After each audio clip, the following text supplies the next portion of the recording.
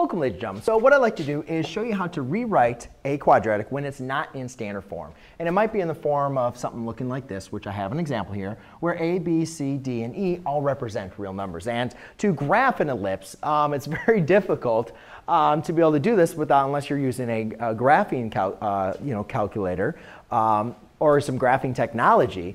But otherwise, to graph this mainly, we're going to want to write it into our standard form where we can easily identify what the center is as well as what the values of A and B are, which represent your values for your vertices and covertices. So um, the first thing we want to do is organize the variables because as I see here, you know, you can see that the x is plus y, x plus y. So the first thing I'm going to want to do in this example is I'm going to kind of talk my way through exactly, show you step by step, as well as kind of go through an example um, for this because I know a lot of students have trouble with this. So I organize my values. So I have 4x squared minus 8x plus y squared plus 4y equals 8.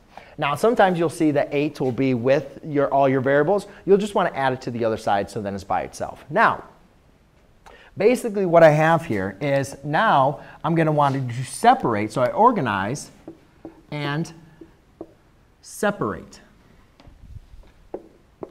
Actually, let's use the blue. So I'm going to separate these. Okay? Now that's still a positive, but I'm just going to separate them because I have, you know, my addition for my ellipse. And basically what I'm going to do now is I'm going to complete the square for each variable. Now, if you need help with completing the square, I got multiple, I got another course, you know, to help you out with that. And I'm going to go through an example here, and you'll get plenty of practice as well. But remember, the act of completing the square is taking a trinomial and rewriting it as a binomial squared. Um, so you can see here, this isn't a trinomial yet. I don't know my value of c. So I have to create a value of c that's going to create a perfect square trinomial that I can rewrite as a binomial squared. So to first do this, I always got to make sure that this value is 1. So the first thing I'm going to do is actually factor out a 4. So then I'm left with x squared minus 2x. Actually, let's keep the blue here. I kind of like the blue. Here, I'm looking pretty good, right? So I'm just going to rewrite this one. y squared plus 4y squared equals 8.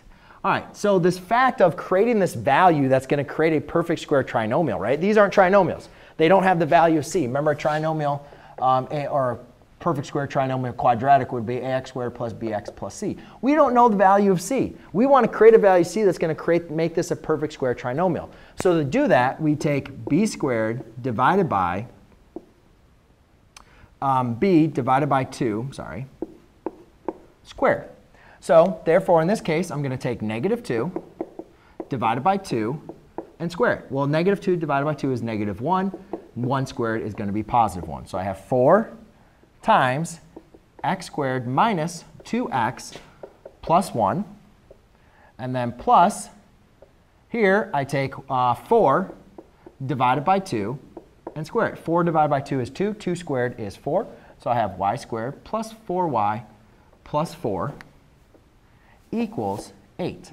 Now, the next step I need to do is notice I added, this is an equation, right? I added a 1 and I added a 4 on the left side. Therefore, I need to add those values to the right side to make the equation still true. But there's one little caveat that we have is remember, whenever you factored out a 4, that 4 is still multiplied back through, right? I just factored it out, but you need to make sure you understand that 4 is still being multiplied by all these terms. So I really didn't add 1 here. I actually added 1 times 4.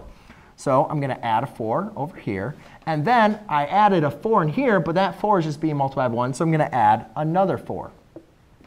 Now I have created, by using completing the square, perfect square trinomials. So now I can rewrite these as a, a binomial squared.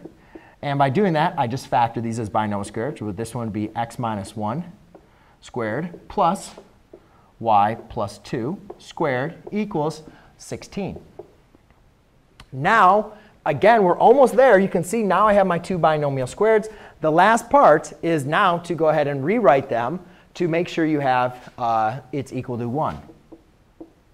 So I completed my square and make sure my final equation is equal to 1. So to do that, I need to divide by 16. And I'm going to divide both of these terms by 16. Obviously, you can see that here, that divides into 4. So I have x minus 1 squared over 4 plus y plus 2 squared divided by 16. y plus 2 squared divided by 16. Remember the 16 divides into both of those, and that equals 1 as that divides into 1. So there you go, ladies and gentlemen. That is how you rewrite a, an ellipse and from this form to your standard form. Thanks.